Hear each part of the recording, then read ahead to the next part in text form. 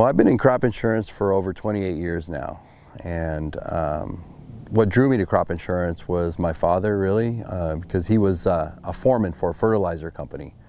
And during the summer times when I was young, I was able to go ride with him at work and drive the Caterpillar with him. And those were just the coolest times for me, great memories. Uh, but the best thing about it was being able to see my dad work and connect with the farmers and see how they interact. I knew right then and there that's what I wanted to do. So crop insurance kind of fell into the mold on that, so I took advantage of that.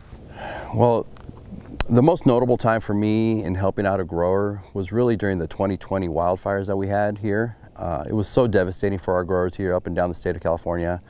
The overwhelming concern that they had uh, not knowing whether or not they're going to be able to get through their lost time, uh, not knowing whether or not they're going to be able to pay their loan debts.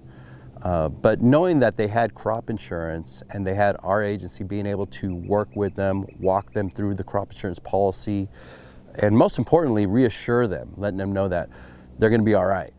So my message to Congress is really to support the 2023 Farm Bill and strengthen the crop insurance program. The farmer is the backbone of this country federal crop insurance for most growers is the only effective safety net out there for them.